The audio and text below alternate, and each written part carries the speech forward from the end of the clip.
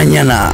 Ismael Casillas le pregunta a Laura si ya se ha acostado con Esteban. ¿Qué es lo que le va a responder ella? ¿Será que le diga la verdad? Hay que estar atentos al capítulo del día de mañana. Y si las cosas se descontrolan después de que Aurelio Casillas haya visto a Nina nuevamente. Recordemos que estos dos ya se conocían anteriormente, hace muchos años atrás. De hecho, Aurelio Casillas pues le había dado un hijo a Nina que lamentablemente lo terminó perdiendo. Y sí, parece que la llama sigue encendida y que estos dos personajes tanto Nina como el mismo Aurelio Casillas quisieran estar juntos nuevamente y las ganas no se van a quedar ahí nada más, pero ¿qué creen? A Rutila no le parece esto que comienza a decirle a su padre que Nina es su proyecto, es su amiga y que no quiere que se meta con ella. Pues lo siento, peces grandes se comen a los peces pequeños y vatos como yo a morras como Nina. Y sí, Aurelio Casillas deja las cosas bastante claras, pero ¿qué va a pasar con Mecha?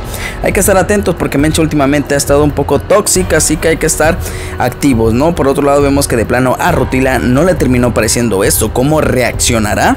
Y bueno amigos, si se perdieron el capítulo del día de hoy martes, déjenme decirles que mañana temprano vamos a subir el capítulo pero completo oficial en alta definición y con excelente calidad de audio aquí en este canal oficial. Así que nada, activos, si eres nuevo suscríbete y activa la campanita de notificaciones. Adiós.